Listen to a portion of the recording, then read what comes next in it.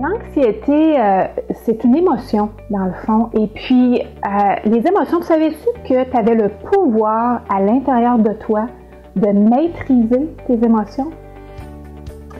Puis, euh, l'anxiété, en fait, c'est la vision de la vision de, du futur de façon négative. Donc, c'est toutes les histoires qu'on se compte dans notre tête qui nous amènent à plus d'anxiété, plus d'incertitude.